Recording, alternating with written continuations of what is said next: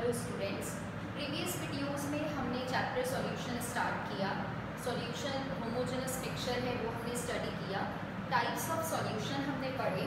Concentration of solution क्या होती है?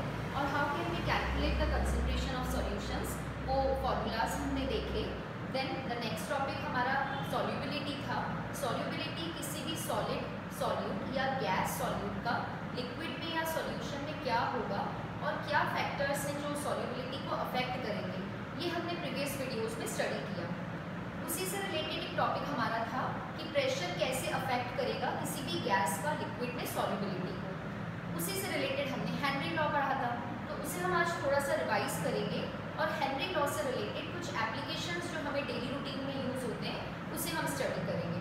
तो हेनरी लॉ जो है, वो प्रेशर का डिपेंडेंस बताता है किसी भी गैस की solubility as we increase the pressure, solubility of gas will also increase.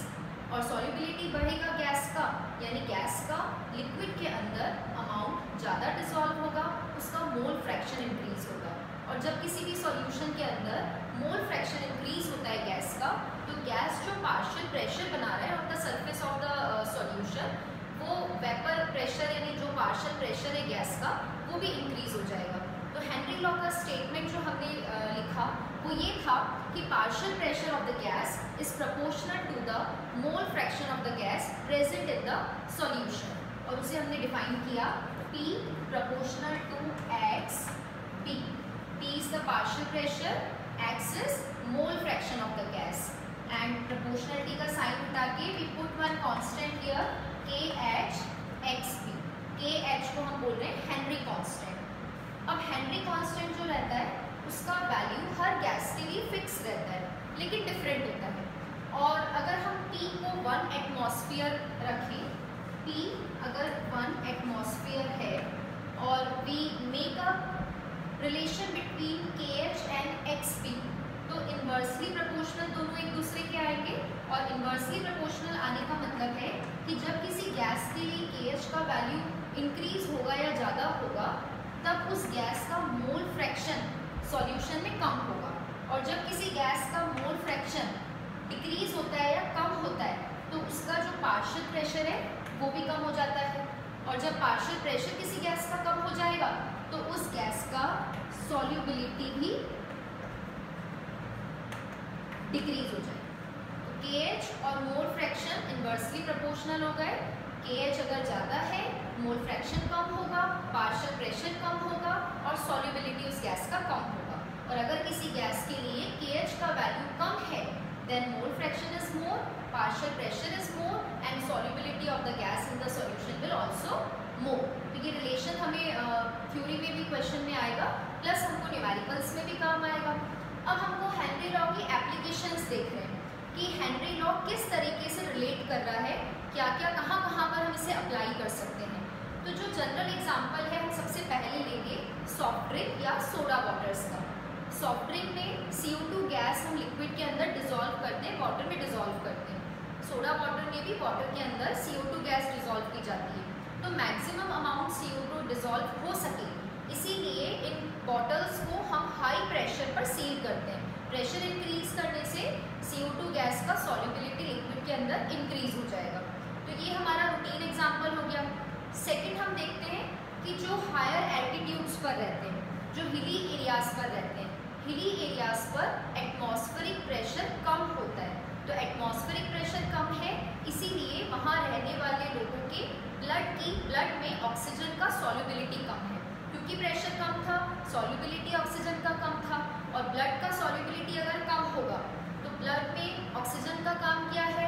Oxygen metabolic process के अंदर यूज़ होता है, जिससे बॉडी को एनर्जी मिलता है। तो अगर ब्लड में ऑक्सीजन का सॉलिबिलिटी कम है तो एनर्जी कम मिल रही है। मतलब वीकनेस होना, जल्दी थकान हो जाना, ये वहाँ के लोगों को प्रॉब्लम्स रहेंगी, जिसे हम एनॉक्सिया कहते हैं।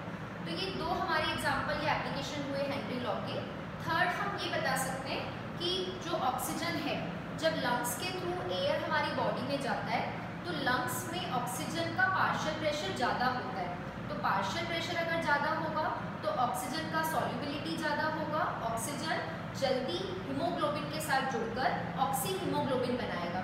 लेकिन जब ब्लड से ऑक्सीजन पूरी बॉडी के अंदर टिश्यूज़ में जाता है तो टिश्यूज़ में उसका पार्शियल प्रेशर कम हो जाता है और कम होने के कारण ऑक्सीजन हीमोग्लोबिन से सेपरेट हो जाता है।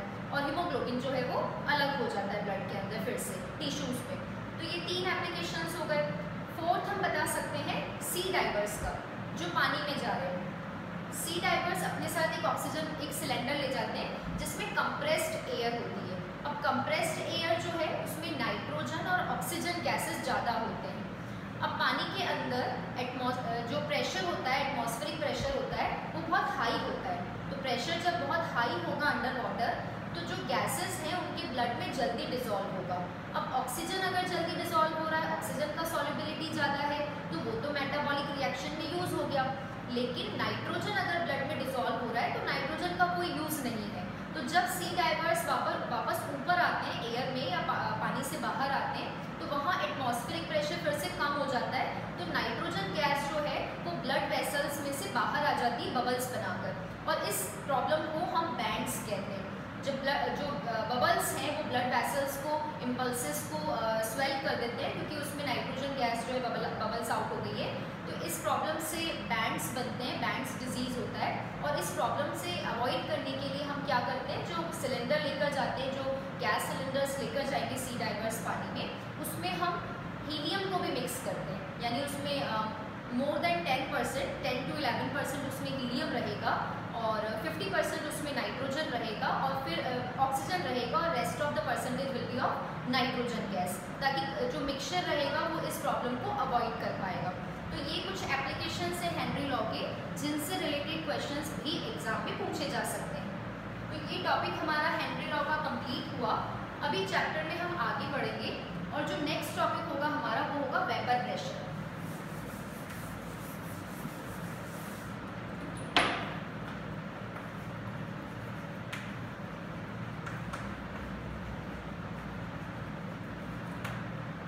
वेपर प्रेशर क्या होता है, पहले हम उसे डिफाइन करेंगे। उसके बाद हमको दो टाइप के सॉल्यूशंस लेने एक सॉल्यूशन लिक्विड लिक्विड मिक्सचर जिसमें both solute and solvents are liquid and one solution we take in which solute is solid and the solvent is liquid और दोनों टाइप के सॉल्यूशंस के अंदर वेपर प्रेशर क्या है और कैसे डिफाइन किया जाएगा, वो हमें स्टडी करना है। तो वेपर प्रेशर को हम इलेवेंथ क्लास में ऑलरेडी पढ़ चुके हैं। एक बीकर है और वो क्लोज्ड है। और उसमें हमने लिया है सॉल्वेंट सॉल्वेंट या वाटर हम इसके अंदर ले रहे हैं। और अब हम उसे हीट कर रहे हैं। क्लोज कंटेनर में वाटर लेकर सॉल्वेंट लेकर हम जब उसे बॉईल करेंगे हीट करेंगे तो जब 100 डिग्री सेल्सियस टेम्परेचर होगा, जो कि वाटर का बॉइलिंग पॉइंट है तो वाटर वेपराइज होना स्टार्ट होगा और वाटर के जो वेपर्स है वो ऊपर जाएँगे। क्योंकि वेपर फ़ेज़ गैस फ़ेज़ है पार्टिकल्स का काइनेटिक एनर्जी ज़्यादा है, उन्हें मूविंग के लिए स्पेस चाहिए। लेकिन हमारा कंटेनर जो है वो क्लोज्ड है। इसलिए ऊपर की तरफ़, यहाँ जहाँ वेकेट स्पेस है, वहाँ हमारे वेपर्स कलेक्ट हो गए। और जब ये वेपराइजेशन का प्रोसेस चलेगा, तब जो वॉल्यूम है वाटर का कंटेनर के अंदर वो डिक्रीज होता जाएगा, क्योंकि वाटर कन्वर्ट हो रहा है वेपर के अंदर। थोड़ी देर के बाद में ये लेवल जो है वाटर का वो कांस्टेंट हो जाएगा। अब डिक्रीज नहीं हो रहा। जबकि वेपराइजेशन का प्रोसेस एज यूजल वर्क कर रहा है। तो ये जो कंडीशन हुआ, जब कांस्टेंट हुआ वाटर का लेवल उस समय पर इस सिस्टम के अंदर इक्विलिब्रियम बन जाता है। इक्विलिब्रियम कैसे बना? जितना वाटर ऊपर वेपर बन के जा रहा है, क्योंकि वेपर्स को स्पेस नहीं मिल रहा है, उनका मूविंग फास्ट है तो वो एक दूसरे से कोलाइड कर रहे हैं और फिर से कंडेंस होकर नीचे सिस्टम में आ रहे हैं। तो दो प्रोसेस यहाँ साथ में चल रहे हैं vaporisation of the water and condensation of the vapours और दोनों प्रोसेस को सेम स्पीड से अपोजिट डायरेक्शन में वर्क कर रहे हैं तो इस सिस्टम को हम इक्विलिब्रियम में कहेंगे. और जब ये इक्विलिब्रियम का स्टेट बनेगा, तब वेपर्स सरफेस वाले पार्टिकल से कोलाइड करके जो प्रेशर बनाएँगे, वो उस लिक्विड का वाटर वेपर प्रेशर है। क्योंकि जो गैस पार्टिकल्स हैं, वो कोलाइड करते हैं मूविंग जब करते हैं अपना, और जब वो कोलाइड करते हैं किसी से तो वो प्रेशर एक्सर्ट करते हैं। तो vapours exerted the pressure on surface particles of the liquid. That pressure is known as vapor pressure of that particular solvent or liquid. तो ये हमारा वेपर प्रेशर हो गया। अब हमें बात करनी है सॉल्यूशन के वेपर प्रेशर की। तो सॉल्यूशन जो है, वो हम दो टाइप के ले रहे हैं। वन जिसमें सॉल्यूट लिक्विड है और सेकंड जिसमें सॉल्यूट जो है हमारा, वो सॉलिड होगा। तो सबसे फ़र्स्ट हम ले लेते हैं vapour pressure of liquid liquid solution solute और सॉल्वेंट दोनों लिक्विड है, दोनों वॉलेटाइल है, दोनों के वेपर्स बनेंगे जब हम सॉल्यूशन को हीट करेंगे। तो अभी जनरल है हमने कंटेनर के अंदर जो मिक्सचर लिया है, जो सॉल्यूशन लिया है, उस सॉल्यूशन के अंदर जो सॉल्यूट और सॉल्वेंट है, उनको ऑलरेडी हम ए और बी से डिफाइन कर ही रहे हैं। तो ए और बी दोनों के वेपर्स ऊपर जा रहे हैं। यानी सॉल्यूट भी हीटिंग पर वेपराइज हो रहा है और सॉल्यूट के भी पार्टिकल्स हैं और सॉल्वेंट जो है वो भी वेपराइज हो रहा है और उसके भी पार्टिकल्स हैं। तो सॉल्यूट और सॉल्वेंट दोनों के वेपर्स बनेंगे। तो वेपर प्रेशर दोनों के वेपर्स बनाएँगे लिक्विड के सरफेस के ऊपर। अब वो वेपर प्रेशर जो बनेगा, अगर वो सॉल्वेंट के पार्टिकल्स का वेपर प्रेशर है तो वो सॉल्वेंट के मोल फ्रैक्शन के प्रपोर्शनल होगा। और अगर वो सॉल्यूट के पार्टिकल्स का वेपर प्रेशर है तो सॉल्यूट के वेपर्स कितने बने, ये उसके प्रपोर्शनल होगा। तो इसी वेपर प्रेशर को समझाने के लिए राउल्स लॉ हमको करना है।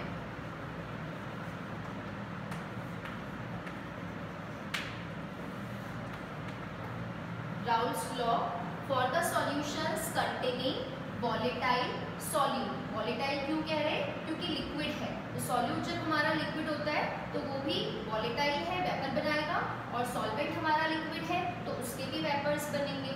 अब उस प्रेशर को हम क्या नाम दे देते हैं? वेपर प्रेशर को पी ए कहेंगे और P B P A partial pressure of solvent P B partial pressure of solvent partial pressure क्यों नाम दिया हमने क्योंकि मिक्सचर के अंदर दो कंपोनेंट्स हैं दोनों कंपोनेंट्स अपना अपना प्रेशर बना रहे हैं। इसलिए हम उनके इंडिविजुअल प्रेशर को पार्शियल प्रेशर नाम देंगे। तो p a is the partial pressure of solvent और p b is the partial pressure of solute तो राउल्स लॉ क्या कह रहे हैं कि partial pressure of the component is proportional to the mole fraction of the component in the solution तो mole fraction की proportional है पी ए तो इसे लिखेंगे X A P B proportional to x b x a और x B मोल fractions हैं।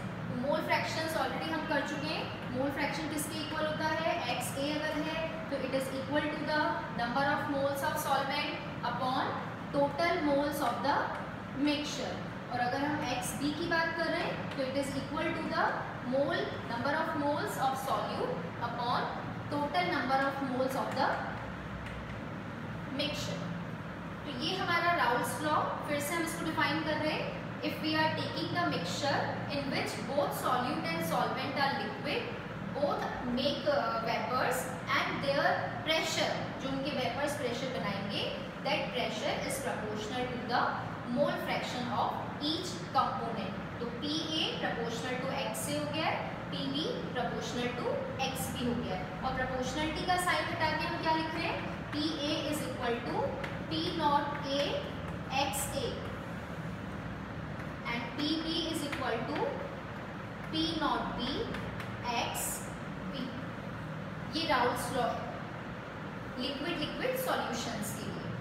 अब Raoult's law के बाद में हम इसको थोड़ा सा आगे ले जाएँगे और आगे ले जाकर हमने इलेवेंथ के अंदर इलेवेंथ में एक लॉ पढ़ा था, हम उस लॉ से इसको कनेक्ट करेंगे। हमने इलेवेंथ में लॉ पढ़ा था पार्शियल प्रेशर का Dalton's law of partial pressure और वो लॉ ये कह रहा था कि अगर किसी मिक्सचर में, किसी कंटेनर के अंदर टू गैसेस का मिक्सचर है तो total mixture of the container will be equal to the sum of partial pressures of the gases तो गैस यहाँ पे भी वेपर्स है कंटेनर में वेपर्स हैं, दो वेपर्स बन रहे हैं तो पूरे सिस्टम का, यानी पूरे सॉल्यूशन का जो वेपर प्रेशर है, उसको हम डिनोट कर रहे हैं टी एस से।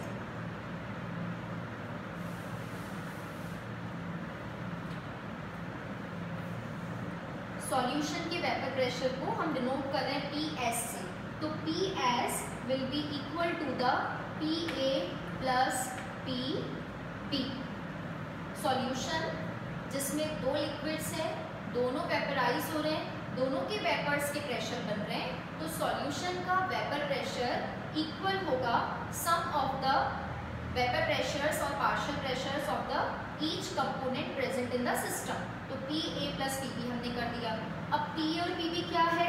P S is equal to P A की जगह हमें क्या लिखना है? P naught A X A plus P naught B X B और एक्स ए और एक्स बी की जगह हम क्या लिख सकते हैं? ये ऑलरेडी हम यहाँ कर चुके हैं नंबर ऑफ़ मोल्स और अगर हमें इसके और आगे जाना होगा तो नंबर ऑफ़ मोल्स की जगह हम क्या लिखेंगे? एन को हम किससे डिफाइन करते हैं? डब्ल्यू अपॉन एम से, यानी मास अपॉन मोलर मास से तो ये हमको न्यूमेरिकल्स में ज़रूरत लगेगी एन की जगह पर डब्ल्यू और एम लिखने का। तो ये हमारा राउल्स लॉ हो गया। फ़र्स्ट हमने लिखा for the solutions containing liquid solute second Raoult's law हम करेंगे for the solutions containing solid solute जो सॉलिड सॉल्यूट होते हैं, क्योंकि सॉलिड्स के बॉइलिंग पॉइंट बहुत हाई होते हैं तो वो ज़्यादातर नॉन वॉलेटाइल होंगे। नॉन वॉलेटाइल का मतलब क्या है? जिनके वेपर्स नहीं बन रहे तो ये राउल्स लॉ जो है, इसको हम ग्राफिकल भी शो कर सकते हैं। अब ग्राफिकल हम इसको कैसे शो करेंगे?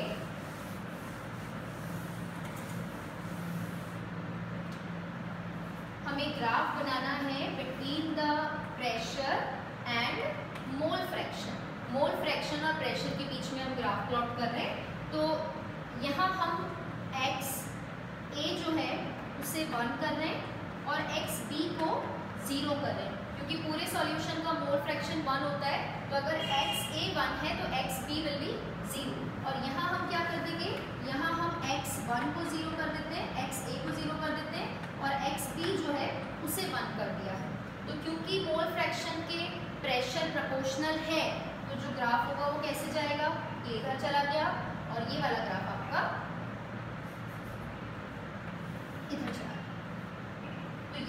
दोनों के बीच का जो ये गैप है this gap is P S equal to P A plus P B ये हमारा ग्राफिकल अरेंजमेंट हो गया राउल्स लॉ को एक्सप्लेन करने का। अब सेकेंडली सेकेंड हम राउंड्स लॉ या वेपर प्रेशर एक्सप्लेन करेंगे for the solutions of solutions of solid and liquid solid यहाँ पे सॉल्यूट है और लिक्विड यहाँ पे सॉल्वेंट है. तो सॉलिड जैसे अभी हमने बोला कि जब सॉलिड हमारा सॉल्यूट होगा तो सॉलिड क्या होते हैं? नॉन वॉलेटाइल होते हैं, उनके वेपर्स नहीं बनते हैं. तो अभी सॉल्यूशन में क्या हो रहा है? अभी सॉल्यूशन के अंदर वेपर्स जो है, जब आप उसको हीट कर रहे तो जो वेपर्स हैं, वो वेपर्स कौन बना रहा है? सिर्फ़ सॉल्वेंट बना रहा है. सॉल्वेंट जो है लिक्विड है उसके वेपर्स बन रहे हैं, लेकिन सॉल्यूट जो है वो सरफेस पर आके कलेक्ट हो गया है। सरफेस पर है, ऊपर वेपर बनकर नहीं जा रहा है। तो इसलिए राउल्स लॉ क्या हो जाएगा अब? अभी राउल्स लॉ को हम कैसे डिफाइन करेंगे? कि सॉल्यूशन का vapour pressure will be proportional to the X A X A X A is the mole fraction of solvent क्योंकि पूरे सॉल्यूशन के अंदर दो कंपोनेंट्स जो हैं, उनमें से सिर्फ़ लिक्विड यानी जो सॉल्वेंट है, वो ही ऊपर वेपराइज हो रहा है। तो प्रेशर जो बनेगा, वो सिर्फ़ उसी के वेपर से बनेगा। सॉल्यूट क्योंकि नॉन वॉलेटाइल है, उसका कोई वेपर प्रेशर नहीं है। तो पूरे सॉल्यूशन का वेपर प्रेशर किस पर डिपेंड करेगा? मोल फ्रैक्शन ऑफ़ सॉल्वेंट पर। तो यहाँ पे हमने एक ही टर्म में लिख दिया है P S proportional to X A and P S is equal to P naught X ये सॉल्वेंट का वेपर प्रेशर है, ये सॉल्यूशन का वेपर प्रेशर है, ये सॉल्वेंट का मोल फ्रैक्शन है। और x की जगह पर हम वही N A upon N A plus N B लिख सकते हैं। तो ये राउल्स लॉ करें हमने वेपर प्रेशर हमने किया कि वेपर प्रेशर जो वेपर्स सरफेस पर प्रेशर बना रहे हैं in the equilibrium state vapour pressure किसी भी सॉल्यूशन का, हमने दो पार्ट्स में उसको डिवाइड करा। When the solution has liquid solute and when the solution has solid solute जब लिक्विड सॉल्यूट होगा, तभी वेपर दोनों के प्रेशर बनेंगे सॉल्यूट का भी और सॉल्वेंट का भी। तो टोटल जो प्रेशर होगा सॉल्यूशन का, वो P A plus P B के इक्वल होगा। और जब आप सॉलिड लोगे सॉल्यूट को, जो कि नॉन वॉलेटाइल है, तब सिर्फ़ सॉल्वेंट के ही वेपर्स बन रहे हैं प्रेशर सिर्फ़ उन्हीं का बनेगा। इसलिए सॉल्यूशन का वेपर प्रेशर सॉल्वेंट के मोल फ्रैक्शन के इक्वल होगा। तो ये राउंड लॉ आपका कंप्लीट हुआ टॉपिक